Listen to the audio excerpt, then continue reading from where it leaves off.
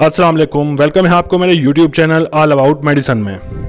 आज जिस मेडिसन के बारे में बात करनी है, वो है एक मल्टीविटामिन जिसका नाम है बोसीफोल सबसे पहले इसकी जनरल इन्फॉर्मेशन देख लेते हैं।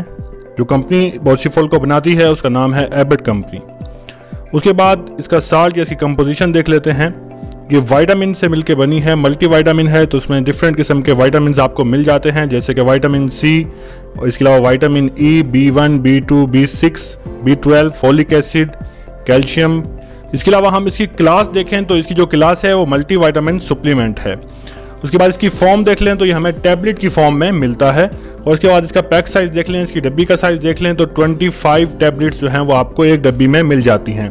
इसके अलावा इसकी प्राइस की बात करें तो वो एक सौ करीब है यानी कि 130, 132, 140 में आपको मिल जाएगी इजीली अब इसके यूजेस और साइड इफ़ेक्ट को डिस्कस करने से पहले गुजारिश होगी कि चैनल पर आने वाले तमाम दोस्त मेरे चैनल को सब्सक्राइब कर लें और साथ ही मौजूद घंटी के आइकन को भी प्रेस कर दें। सबसे पहला जो इसका यूजेस है थायामिन डेफिशिएंसी के अंदर इसको इस्तेमाल किया जाता है। ऐसे लोग जिन्हें थायामिन की डिफिशिएंसी हो गई है, थायामिन की डिफिशिएंसी अगर हो चुकी है तो इसको इस्तेमाल करवाया जाता है। इसके अलावा ऐसे दोस्त जिनको बेरी बेरी की डिसीज़ हो चुकी है तो वो भी इसको इस्तेमाल कर सकते हैं। अगर आपको डॉक्टर ने बताया है कि आपको बेरी बेरी है तो ये आपको मल्टीवाइटामिन ज़रूर लिख के देता है। इसके अलावा ऐसे लोग जिनको डिफिशिएंसी हो चुकी है वाइटामिन की। किसी भी वाइटामिन की डिफिशिएंसी हो चुकी है, जैसे कि B one B two B six B twelve इनमें से किसी की भी या वाइटामिन ई e की वाइटामिन सी की तो वो भी लोग इसको इस्तेमाल करते हैं।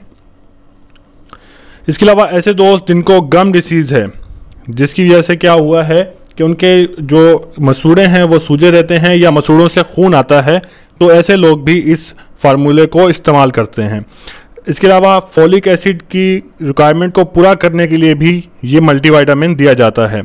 इसके अलावा ऐसे दो जिनको एनीमिया हो चुका है, खून की कमी हो चुकी है, उनको भी ये मल्टीवाइटामिन दिए जाते हैं, जिससे उनकी खून की प्रोडक्शन दोबारा से बढ़ जाती है।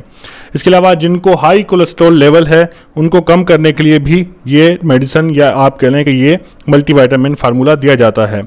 इसके अलावा ये डायरिया की ट्रीटमेंट में भी इस्तेमाल किया जाता है। ऐसे लोग जिनको डायरिया रहता है, बहुत अरसे से डायरिया है, लंबे अरसे से डायरिया है, उनके लिए भी इस मेडिसिन को इस्तेमाल किया जाता है। इसके अलावा ऐसे लोग जिन्हें मेमोरी लॉस हो चुका है, यानी कि उनको उनकी जो बातें हैं, उनको बहुत देर से याद आती हैं या वो जल्दी से भूल जाते हैं, उनके जो मेमोरी है वो काफ़ी कमज़ोर हो चुकी है, उनके लिए भी इसको इस्तेमाल किया जाता है और ख़ास तौर पर ओल्ड एज में इसको इस्तेमाल किया जाता है। इसके अलावा स्कर्वी की बीमारी जिनको हो चुकी है स्किन से रिलेटेड स्कर्वी की बीमारी, उसमें भी इसको इस्तेमाल किया जाता है। इसके अलावा स्किन को बेटर बनाने के लिए, स्किन को सॉफ्टनेस करने के लिए, उसका स्किन की जो है वो टिश्यू को दोबारा से ज़िंदा करने के लिए भी इस फार्मूले का इस्तेमाल किया जाता है। इसके अलावा ऐसे लोग जिनको विटामिन ई e की डिफिशियंसी हो चुकी है, और विटामिन ई e की डिफिशियंसी की वजह से उनका इम्यून सिस्टम जो है वो थोड़ा कमज़ोर हो चुका है तो उन लोगों को भी ये मल्टी वाइटामिन फार्मूला दिया जाता है।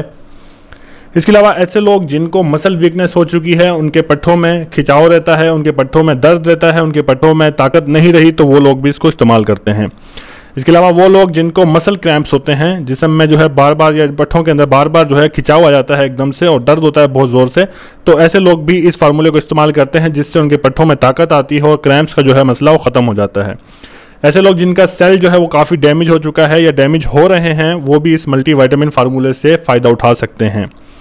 अब इसकी बात कर लेते हैं साइड इफ़ेक्ट्स की तो इसके साइड इफ़ेक्ट्स भी हैं थोड़े से, जो इसको आपको जहन में रखना होगा। सबसे पहला जो साइड इफ़ेक्ट है, वो रैशेज़ है।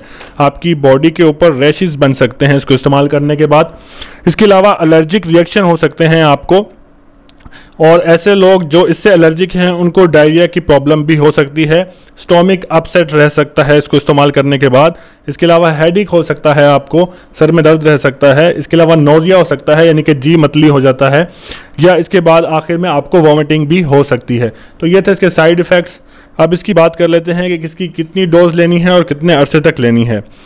इसको मामूली तौर पर एक टैबलेट इस्तेमाल की जाती है अपने खाने के बाद। यानी कि आप अपने खाने के बाद एक टैबलेट इसकी जो है वो ले सकते हैं। और इसको आप दो से तीन मंथ लेंगे तो आपको इसको बेटर रिज़ल्ट देगी। उसके बाद इसका कॉन्ट्रा इंडिकेशन देख लेते हैं कि कौन कौन से लोग इसको इस्तेमाल ना करें। तो ऐसे लोग जो इसके किसी भी चीज़ से एलर्जिक हैं, इसमें इस्तेमाल होने वाली किसी भी चीज़ से एलर्जिक हैं तो वो लोग इसको इस्तेमाल ना करें तो बेहतर होगा।